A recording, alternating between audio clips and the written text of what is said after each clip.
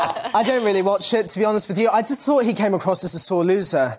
Yeah. Uh, he was very vulgar in his speech, swearing left, right, and centre. He should have accepted defeat graciously, as Alice was saying. Mm. Sort of, you know, throwing his toys out of the pram. It's quite embarrassing to watch someone like that, who's usually quite restrained, mm. just suddenly go into this fit of hysteria and crying at a conference.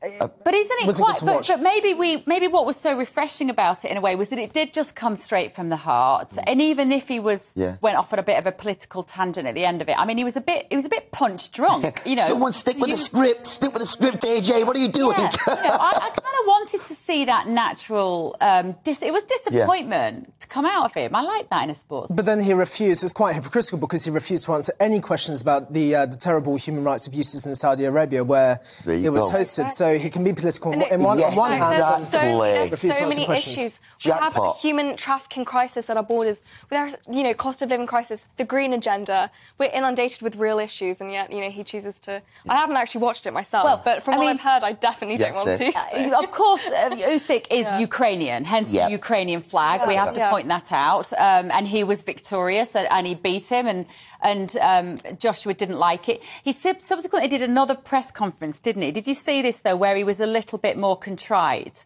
I, no, it was. And the... he kind of got a bit upset, didn't yeah. he? he yes, kind of actually, yes. Tears yeah. and said, there, you know, yeah.